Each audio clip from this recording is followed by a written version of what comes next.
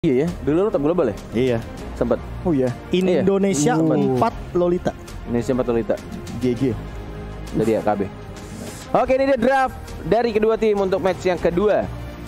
Dan bisa dilihat juga walaupun tadi ya, sempat dibahas juga sama Arasi kurang CC. Mungkin CC-nya bakal mengandalkan dari Selena atau dari stunnya Brody. Tapi itu jaraknya close range banget Makasih sih. lo Net, makasih lo. Bener kan? Itunya Brody. Ah ampun Net. Net. Lah kan kurang kontrol CC. itu kan dia ditempel Esmeralda kan juga pusing Net. makasih. Tapi ya itu dia. Ini dia match yang kedua. Kita akan langsung melihat apakah dari anak-anak BTK yang katanya ini tim yang lagi kuat-kuatnya ini atau justru malah Navi yang akan memberikan kejutan di match yang kedua dan langsung seperti game pertama tadi ada ikan paus atau game in pause ya sabar kalem atau akang Kalau atuh akang ya. Tapi ya bener sih, sisi powernya less banget gak sih Arasi kayak kita ngeliat cuma ada Selena untuk ganking power and then mereka mereka emang punya immobilize, punya slow effect tapi nggak punya stun impact yang bener-bener besar banget gitu loh. Walaupun ya kita tahu Poveus emang kelemahannya slow effect. Terus Esmeralda juga kena slow effect pasti kocar kacir ya kan ketar ketir. Sun Shin punya Threshold otomatis ya dia bakal lepas lah dari reward manipulation atau bahkan dengan nge-immune si Abyssal Arrow-nya itu lelenya itu. Dan bahkan Abyssal Arrow-nya sendiri aja bisa ditahan pakai Guardian Bulwark itu. Shield dari Lolita.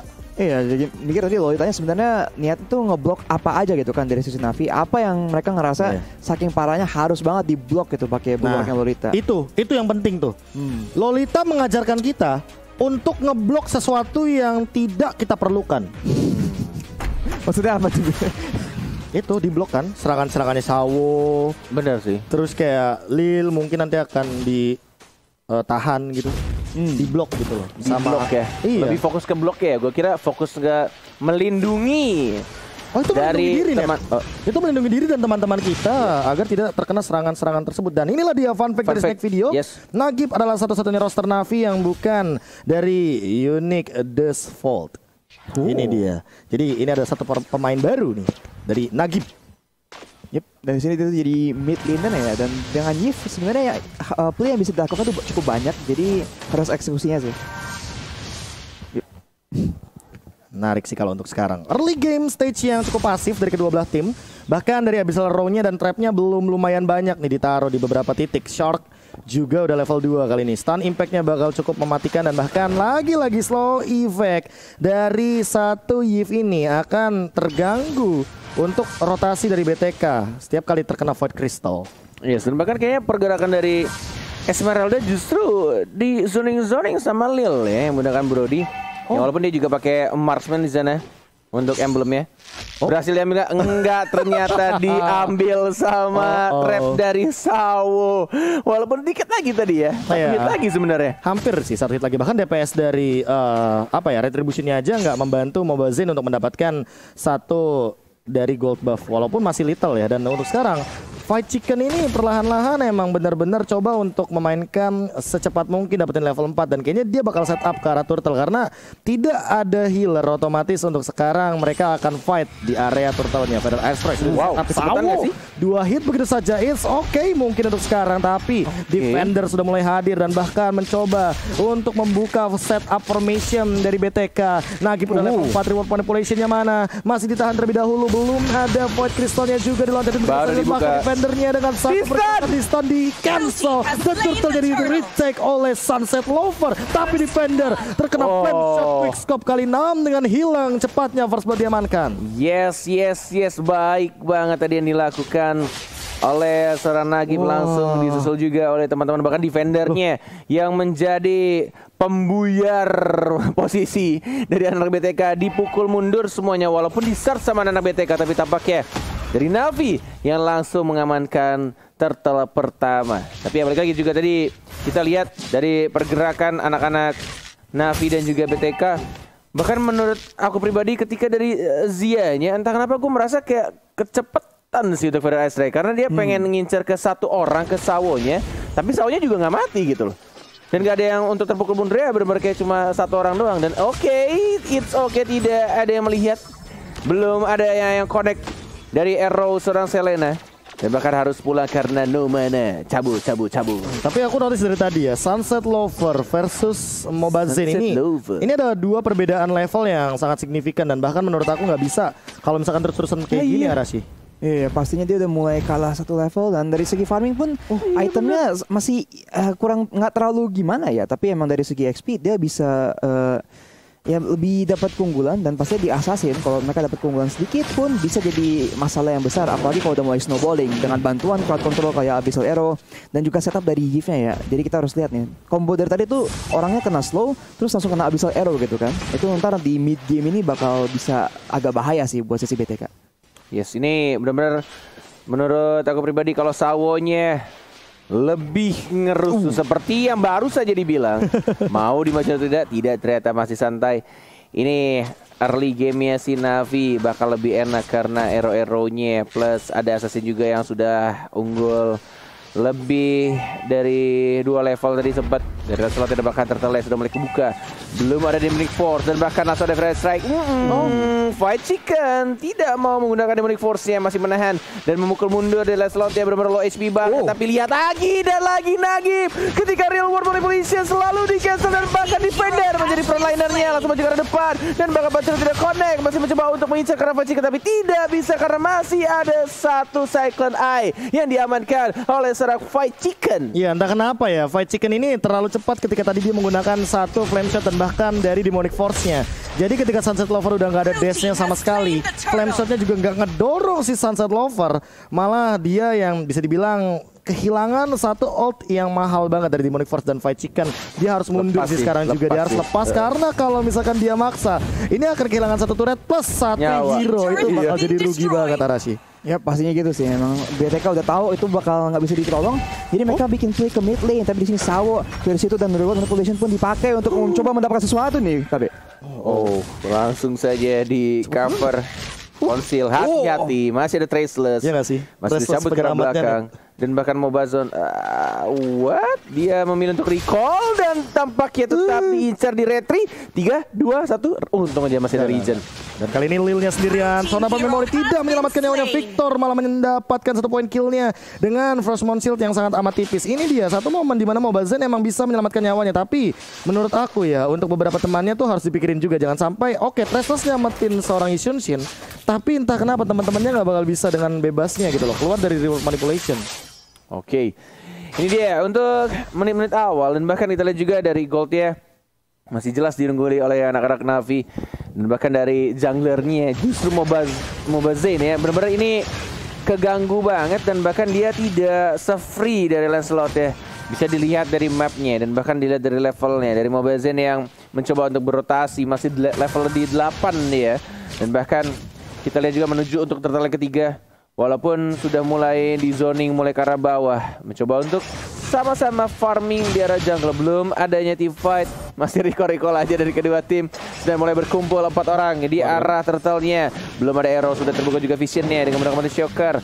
Masih sama-sama menahan. Dan bahkan kita lihat di sini Udah mau level 11 Jadi 10 setengah ini. Restortnya udah free banget sih B ini. Iya makanya yang kayak tadi udah aku mention bahwa Sunset Lovernya farming sedemikian rupa walaupun KDA-nya 000 ya. Tapi dia mendapatkan banyak banget objektif. 4 melawan 4 kali ini setup tim fight-nya bahkan melawan 5 mungkin sekaligus. Karena Victornya udah bener-bener nge-zoning out banget dan kehilangan turret di semua Wah, lini dari side lane-nya iya ditukarkan mungkin dengan Mobazen yang mengamankan satu turtle. Bakal jadi worth it kali ini. Untuk teman-teman Navi karena lihat dari goldnya bahkan mereka leading 1000 dan defender. Out of nowhere dia masih split di arah top lane. Wow, wow, wow. Ini mengingatkan Cornet sama game pertama ketika fokus ke arah atas tapi kita sini vouchernya connect. Oh, oh, voucher kedua Ton Ross, retrinya mana? Tidak digunakan dan bahkan Sunset Lover one more hit. Mencoba untuk maju lagi tapi ternyata tidak bisa dia yang berhasil ngebait dan langsung di cover oleh Mobazon dipaksa untuk team fight tapi arrownya connect karena Victornya dan bahkan ada Starmoon karena defender. Walaupun masih ada Vengeance tapi Mobazon masih mencoba untuk dapetin satu poin killnya.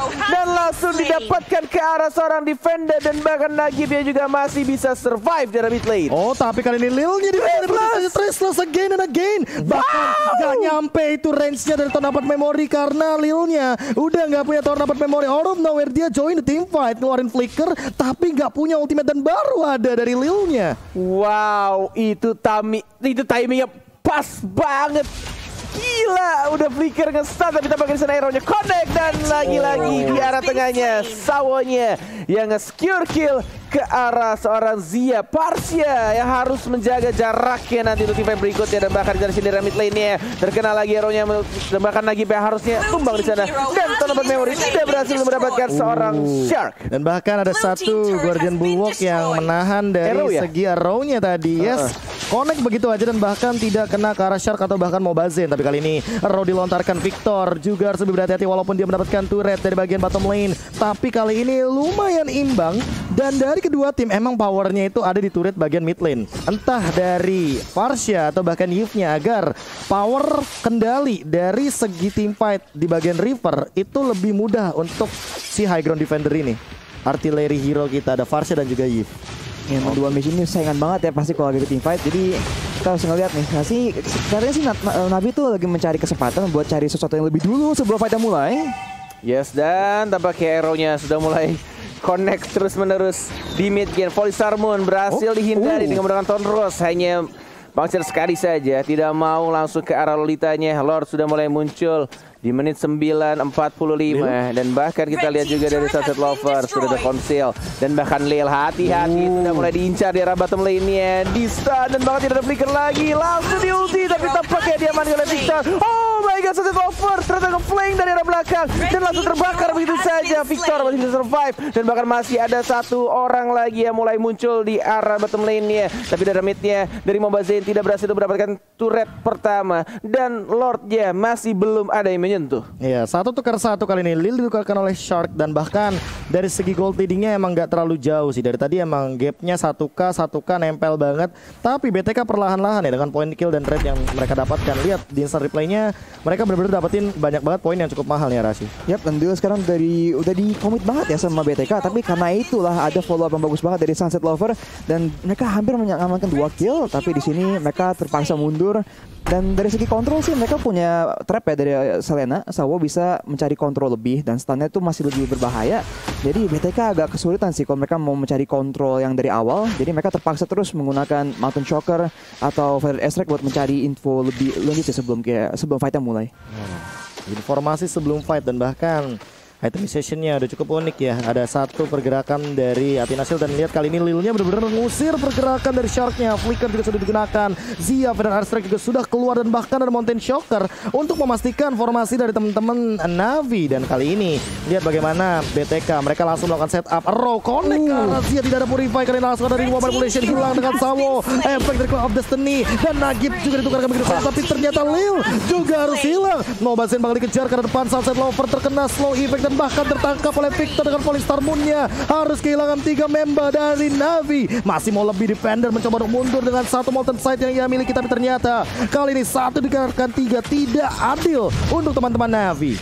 Yes, walaupun masih di bawah menit 12 tampaknya Lord harusnya diamankan dengan mudah oleh anak-anak BTK dan ini dia yang terjadi ketika tim fight barusan dan bahkan early game dipegang sama Navi tapi tampaknya sekarang. BTK sudah mulai mengembalikan keadaan. Tempo permainan justru sekarang di anak-anak BTK lihat pemain dari anak-anak BTK ini dia tapi sebelum itu juga kita akan mengingatkan buat teman-teman yang sembari menonton. Buat kalian, ayo kita sama-sama dukung Indo Pride. Sambil jajan makanan minuman di GrabFood Karena ada kode promo M3X Grab. Langsung saya diskonnya sampai 70% Gede bet gede Kayak perut TKB Eh enggak deh udah kurusan Wih, udah kurusan. Deh, udah kurusan. Kurusan, udah kurusan lagi. kurusan.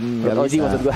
Oh, tapi tiba-tiba ada Feather Airstrike. Oh, Nagibnya tertarik begitu saja. Oleh Asar saya di depan sana bahkan ada satu nomor 16 Connect ada dua dan tidak bisa dibawa lagi dan lagi Lil juga harus tumbang. Mobazen memakan mendapatkan double kill yang mahal. Lihat bagaimana Falling Star Moon langsung di zoning out begitu saja. Lima member dari BTK mereka mau nabrak dengan bebasnya tersisa Sawo dan Sunset Lover. Tidak ada lagi sisi power yang cukup kali ini. Bahkan lihat Panther Execution no. tidak bisa ngapa-ngapain lagi dan bahkan jadi game Wow. milik BTK Wow, wow, wow. 12 menit pertandingan sudah berjalan dan bahkan BTK membuktikan walaupun early game mereka kesulitan Yishun Sydney benar-benar out form sekali tapi mereka langsung saja dalam satu serangan di arah Lord Pit dan langsung di end begitu saja di waktu yang sangat amat cepat BTK.